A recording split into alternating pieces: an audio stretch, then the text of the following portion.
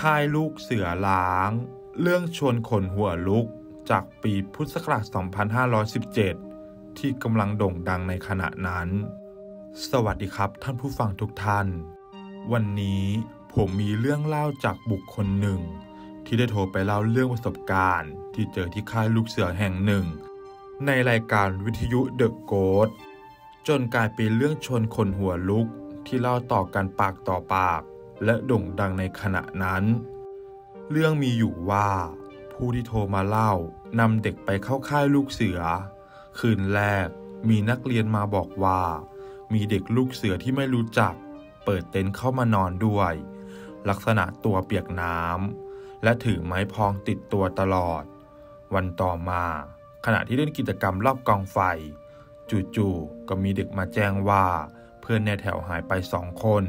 พอไปตามก็เห็นนักเรียนสองคนนั้น นั่งอยู่ริมตลิ่ง ในสภาพที่เหม่อลอย จึงรีบนำตัวกลับ จากนั้นพอเริ่มกิจกรรมรอบกองไฟไปได้สักพัก เด็กนักเรียนสองคนเดิมก็หายไปอีกคราวนี้หายังไงก็หาไม่เจอ จนต้องหยุดกิจกรรมรอบกองไฟ และให้นักเรียนทุกคนรวมตัวกัน อยู่ในความดูแลของครูอย่างใกล้ชิด ขณะที่ครูกำลังโทรแจ้งผู้ปกครองของนักเรียนที่หายตัวไป ก็ได้พบกับหนึ่งในสองของนักเรียนที่หายไป โดยนั่งอยู่ที่ฐานมุดดิน ในสภาพที่หวาดกลัว ส่วนอีกคนหาจนถึงตีสองก็ยังไม่พบ จนชาวบ้านแถวนั้น แนะนำให้ลองบนยายดู ซึ่งทางครูก็ทำตาม ปรากฏว่ารอจนถึงรุ่งเช้า จู่ๆมีลุงท่านหนึ่ง ขับรถสามล้อมาในค่าย และพูดว่า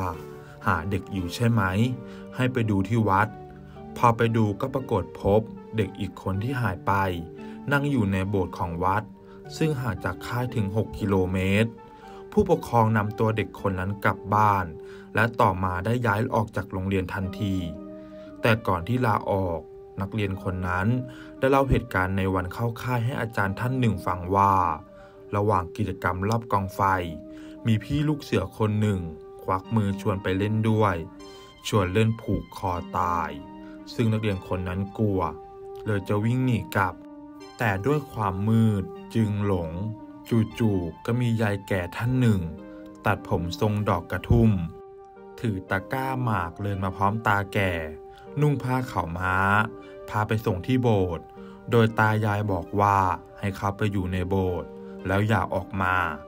ซึ่งระหว่างที่นักเรียนคนนั้นอยู่ในโบสถ์พอมองออกมาก็เห็นเด็กลูกเสือคนนั้น ถือไม้พอง เดินวนรอบโบสถ์ทั้งคืน ผู้ที่โทรมาเล่าได้กลับไปสอบถามแม่ ซึ่งเป็นคนในพื้นที่นั้นทำให้ทราบว่า วัดที่พูดถึงนี้ ถูกบริจาคโดยสองตายายคู่หนึ่ง ซึ่งตอนนี้ก็มีรูปปั้นท่านอยู่ ซึ่งลักษณะเป็นรูปปั้นตรงกับที่นักเรียนคนนั้นเห็นทุกอย่าง ส่วนที่ค่ายลูกเสือนั้น ก็เคยมีเด็กจมน้ำหายไปแล้วคนหนึ่ง ซึ่งเกิดขึ้นตั้งแต่ปี 2517 จนทุกวันนี้ยังหาไม่เจอ แม้กระทั่งจะเคยสูบน้ำจนเกือบหมดบ่อแล้ว และหากใครเดินทางไปหลังเขา ซึ่งเป็นอีกทางเส้นทางสู่ค่าย จะเห็นรูปปั้นลูกเสือตั้งอยู่ซึ่งตรงฐานจะเขียนปีพุทธศักราชที่สร้างขึ้น นั่นคือ พุทธศักราช 2517 ปีเดียวกับที่มีเด็กจมน้ำและชาวบ้านในละแวกนั้นเล่าว่าค่ายนี้ได้ปิดล้างไปนานแล้ว ในบางคืนจะมีเด็กมาเคาะประตูขอนอนด้วย ขอข้าวกินอยู่เสมอ